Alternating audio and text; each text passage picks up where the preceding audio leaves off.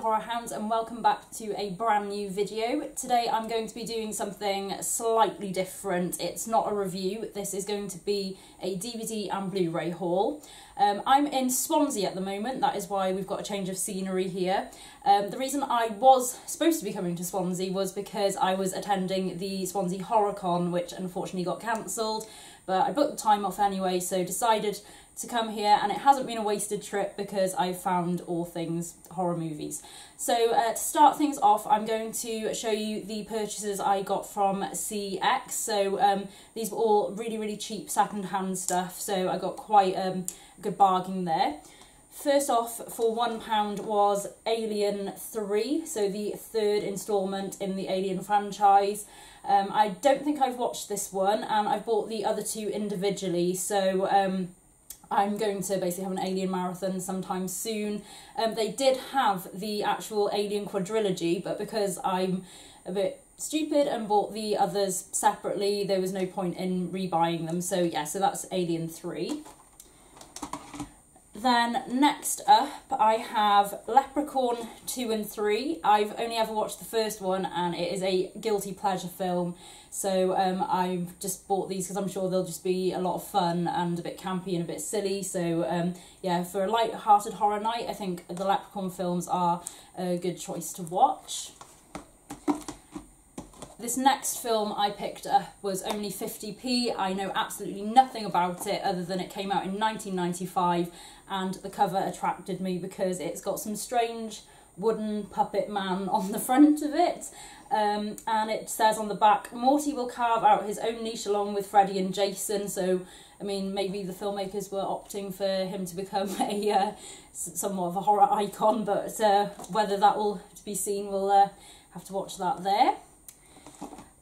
And next up is a TV show, and it was only £3, um, so I thought it's such a bargain, I have to get it because I've never seen this show, and because it's um, been revived now, there's new episodes um, being released of it, so um, I thought I needed to buy um, this just to check it out, see what it's like, and that is David Lynch's Twin Peaks, the first season. So um, £3, I'll give it a go. If it's not for me, I still don't feel that I've lost anything there. And the last box from CEX is um, a quadrilogy of horror movies. Um, I've only watched the first one and I watched them a long, long time ago, and that is Wishmaster. So it's got the four films in there. The first one stars Robert Englund, Tony Todd, and Kane Hodder, so that was a massive pull for me. The three icons of the genre, so um, I'm looking forward to rewatching that because it's been so long and I can't really remember much about it. And then there's the sequels, um, so I'll give those a go. These are 90s horror movies. Um, I don't often watch a lot of 90s horror movies apart from the slashers, so it'd be nice to see something else. I don't think they're that highly regarded, uh, but I'll give them a go. Um, I possibly might do individual uh, video reviews of these like I did for the house videos, which um, I will link in the description box. So yeah, that's Wishmaster. So everything else now is from HMV and they are shiny Blu-rays. So uh, this first one is The Entity. This is a classic supernatural horror movie from the 80s that I've never seen. It's been remastered and re-released. Um, there is a review for it on lovehorror.co.uk and that kind of appealed to me so I'm looking forward to finally watching this. The next one is from 88 Films, and I've always been attracted to the cover of this film because it looks absolutely terrible, but really, really funny. So um, I'm going to check this out finally. Return to Horror High. It's considered a um, pre-Scream sort of postmodern 80s offering, and it's a very early film role for George Clooney, so um, it's quite interesting to see him in that. So Chucky is going to be back with a vengeance this year in 2017. It's just been announced that uh, Cult of Chucky will be screening at Fright Fest and then following that there'll be a DVD and Blu-ray release in October so on the 3rd. Um, the trailer was released yesterday so um, go check that out because it looks brilliant.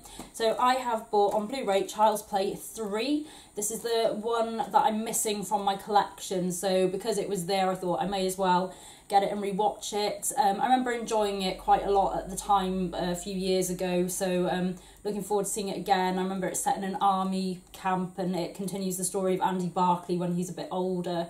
So yeah, I'm looking forward to rewatching that one. And then the next two are from Arrow Video.